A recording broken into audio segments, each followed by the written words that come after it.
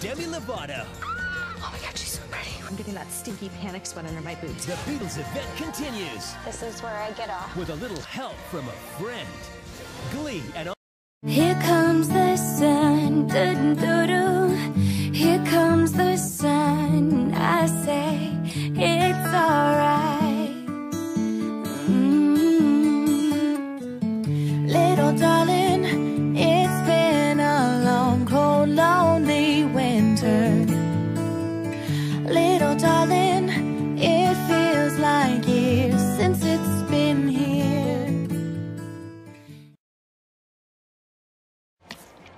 I dig your name. So do you think that your parents like knew that you were gonna grow up to be a lesbian, giving you a boy name? I'm not a lesbian.